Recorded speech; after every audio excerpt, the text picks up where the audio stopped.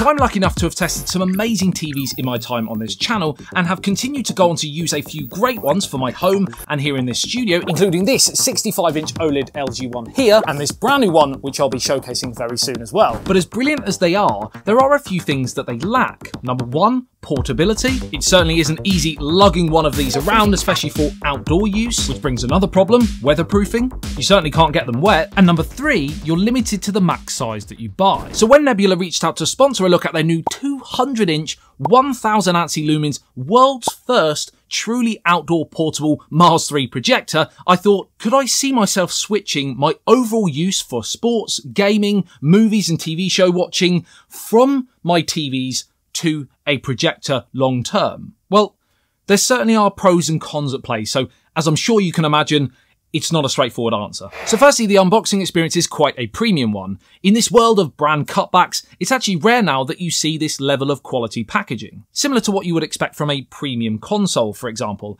it gives you that air of expectation. Android TV with Google Voice Assistant, Chromecast built in, and Dolby Audio. Now, Nebula are pushing this as a serious Explorer type of product for use not only indoor, but also as an ultimate outdoor product as well, giving it shock absorbing, anti-sand, and IPX3 qualities. And that water resistance rating is key, because not only does it mean it is essentially splash proof, but it also means that it can survive actual water sprays from angles of up to 60 degrees. There is also this protective cover to stop the lens from getting scratched, and as soon as you open that, it turns on, and you also get this really cool red LED light on the side that I won't shine it towards you because as soon as that comes out, that would blind you. So we'll leave that and then close to turn off. And it is also 0.5 meter drop proof and dust size 0.7 millimeter dust proof. Now it does have the text 120 inch here and 150 inch here, but I'm told by Nebula, and it has been confirmed,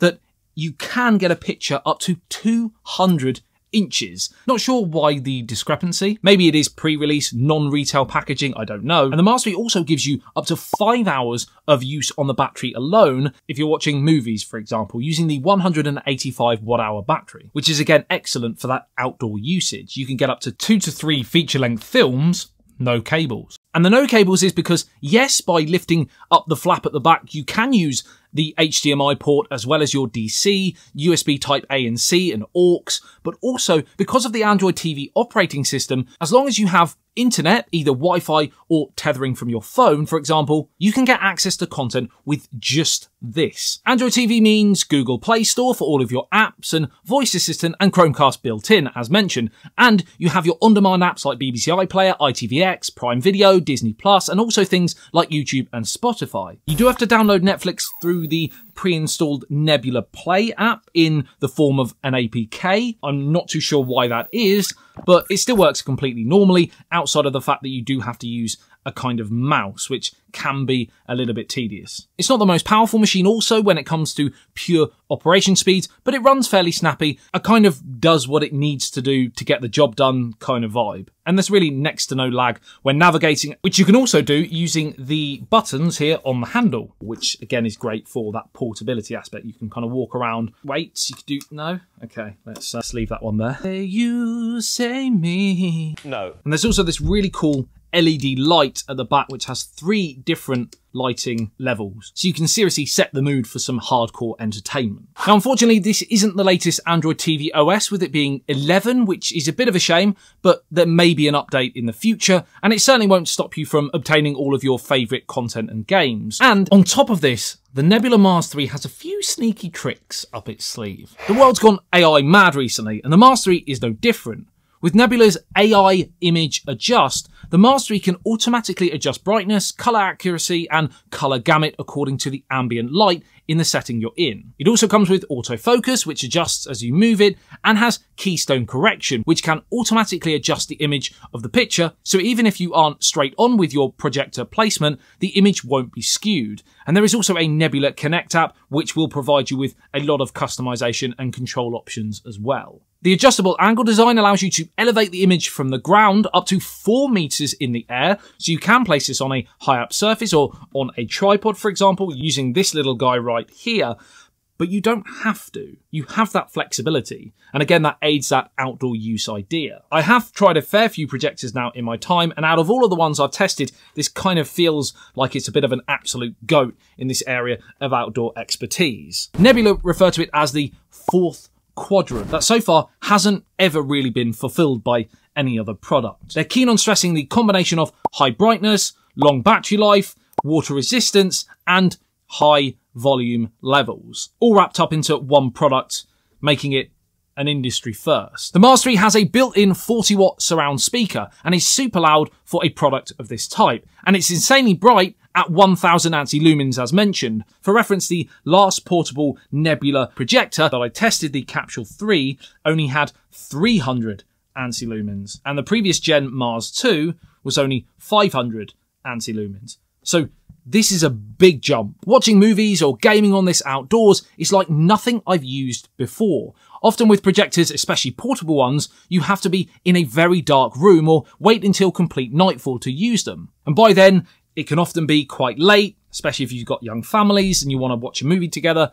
That could be a problem. But you can still see the image outdoors when it's not pitch black, but it won't be as bright as a flagship TV. And this leads me on to another couple of areas where the Mars 3 doesn't quite make the grade compared to my TV setups. The first is resolution. Now, this is layered because at 1080p, the image matches or betters a lot of other projectors on the market. And to be fair, the image is pretty excellent.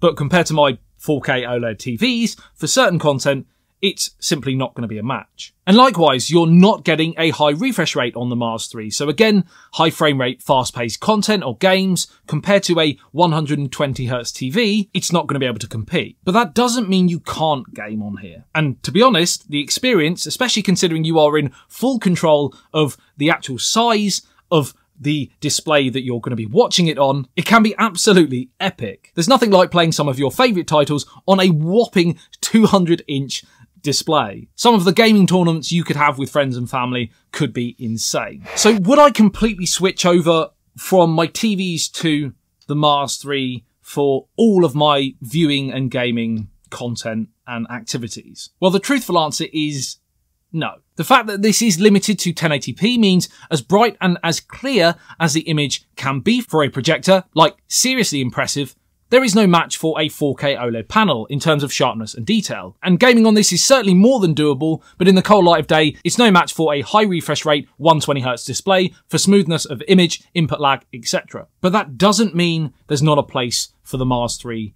in my arsenal. And I'm a Chelsea fan. Sorry, that was a horrific gag. To be able to scoop this up and take it pretty much anywhere, go outdoors, take it camping, move it from room to room. You can have a screen wherever you are, and that is invaluable. To be able to use, ow, just broke it. Oh dear. There's your drop test. Hopefully it still works. To be able to use this pretty much around the clock in multiple different lighting conditions is really handy. The fact it has heavy weatherproofing attributes, has great sound, and has the capabilities of supersizing content. If you can afford a fairly hefty price tag, it's a great option. Now Nebula also offer another portable projector, which I have already previously reviewed on the channel, in the form of the Capsule 3, which also offers a compelling option for different needs. Number one, it's more affordable. It's also ultra tiny, it really defines the throw it in a bag type of device. It comes with many similar features like keystone correction, autofocus, and an Android TV operating system.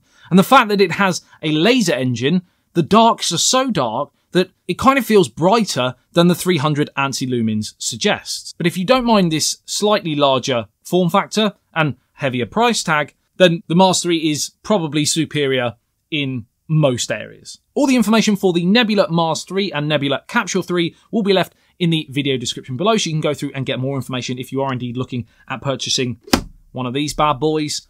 La! See what I did there? The timing was impeccable for that red LED. Yeah can't even speak. I think I'll end the video on that one. Follow me on my other social medias, Twitter, Instagram, and TikTok for short form content on this bad boy. Like the video if you enjoyed it and found it helpful. Subscribe if you love everything tech and want to see more long form content here on YouTube. I love you, Nevi. I'll see you in the next one. Says BYT. Peace out.